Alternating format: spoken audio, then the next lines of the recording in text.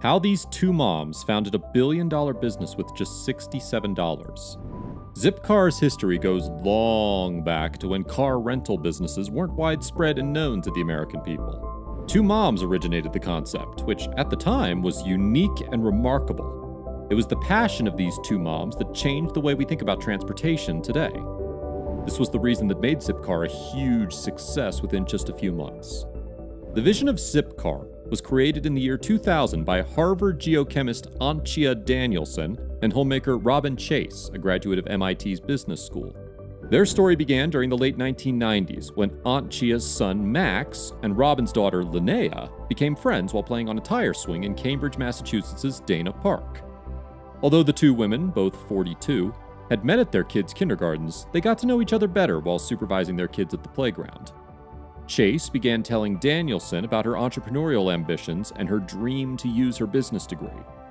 Danielson also expressed her desire to move out of the university, which led her to consider entrepreneurship along with Chase. Danielson was supported greatly by her husband in her entrepreneurial endeavors. On a cold October afternoon in 1999, Danielson talked to Chase about her car sharing idea. The idea occurred to her when she visited Berlin and saw people sharing cars there. It was exciting for Chase, but she wanted to make sure her husband was with her before taking such a big step. Later that night, she went home to talk with him, and both of them finally decided to move forward with this idea. Danielson was born in Germany, but her first experience in the United States was during her postdoctoral program in geochemistry at Harvard University. As Danielson gave birth to her first child in 1993, she became concerned about her son's future. The magnitude of environmental problems was obvious to her. Her aim shifted towards starting a company that focused on environmental issues. In search of ideas, Danielson turned to scientific journals. In the course of her research, she came across a study about the Mobility Cooperative of Switzerland. This European car share company offered a variety of different services, unlike those found in the US.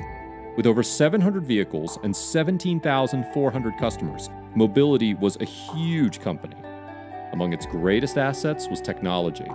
It created a system that made it possible for members to access cars without constantly swapping keys. Daniels figured she could do the same thing in the United States. But Danielson needed her job at Harvard since her family largely relied on her income, whereas Chase was able to dedicate all her time to the new business, ending up as a big success. Chase, a daughter of a U.S. diplomat who had only $67 in her account, began seeking investors at the end of 1999. With the blueprints of their business plans in hand, both women went to seek Glen Urban's feedback, who was MIT's dean and Chase's mentor. He told them their plan is far too slow and should be upgraded by a factor of three. To advertise her startup idea, she talked to a lot of people. And to her surprise, she managed to receive $75,000 as startup funding from extremely generous investors. Chase's first investor was a friend from MIT who invested $50,000 in the startup. Not only that, but she received a $25,000 check from an angel investor a few days before the launch. That is what we call networking at its finest. Now, after that, Chase got busy thinking about dozens of names for the business. At last, she narrowed it down to these three US Car Share, Wheelshare, and Zipcar. Whenever she was at a coffee shop or a grocery store, or her children's sports meets, she asked people what each name meant to them. When people heard Wheelshare, they thought of wheelchair.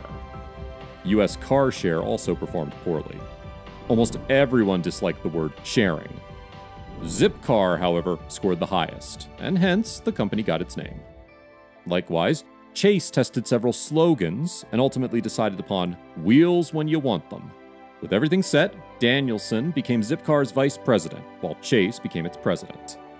In April 2000, the company released its first Zipcar, the Volkswagen Beetle Bilbo in Central Square, Cambridge. Within a month of its launch, Zipcar had 600 customers. Zipcar introduced its first hybrid car to its fleet in January 2003. Due to its revolutionary and cutting edge technology, Zipcar soon became a major success. In August, the company extended its out of campus services to colleges and universities as well, the very first one being Wellesley College in Massachusetts, USA. While the company grew together, its co founders drifted apart. Robin and Antje were not on the best of terms. It was Robin who wanted extra shares, but Antje insisted that they share them equally. Chase asked Zipcar's board to give her the power to hire and fire anyone without consulting anyone.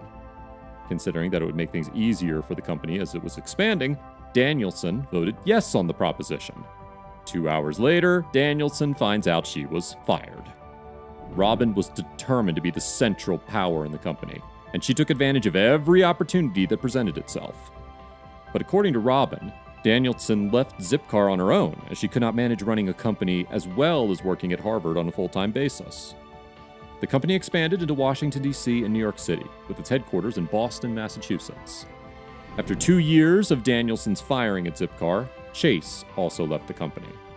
As of today, Zipcar operates in more than 26 American cities and has 860,000 members in the US, Canada, UK, Austria, Spain, France, and Belgium. In January 2013, Zipcar was bought by car rental giant Avis for $491 million, increasing Zipcar's profile even more. Today, Chase is the chief executive and founder of the vehicle communications company Veniam Works California, and the founder of Buzzcar, a peer to peer car rental company based in France. In 2009, Time magazine selected her as one of the 100 most influential people for her works on entrepreneurship, environmentalism, and Zipcar's origin. Danielson has been in academia since she left Zipcar. In her role as administrative director of the Institute of the Environment, she oversees the day to day activities of Tufts, Massachusetts' environmental programs. She intends to use her position to improve environmental education around the world in the future. Having recently gone through a divorce, her life has not been easy. However, the blows have not slowed her down. She even admits that she still uses Zipcar from time to time, saying she's proud to have founded the company whereas Zipcar, as of today, rents out nearly 50 different types of cars, including luxury models such as Audi and BMW. The reason for the company's success is that it was built through word of mouth advertising and had invested well in the technology. It was an idea that grew from customer feedback. During the 21st century, it has grown at an exceptional rate. Zipcar had a successful history despite the departure of its co founders over a decade ago. Many aspiring entrepreneurs have looked up to Robin Chase and Antje Danielson as role models. They taught how can one person move out of his boundaries and build a support system for himself on his own if he has the will to do it? Despite the challenges of living in a changing world, those around you can learn valuable lessons from you by watching how you live your life. Every day, strive hard to create the kind of world you want to live in.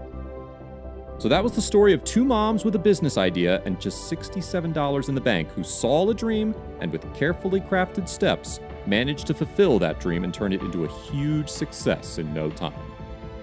If you enjoyed the video, please like it and subscribe to our channel as we have lots more motivation in store for you. Thank you.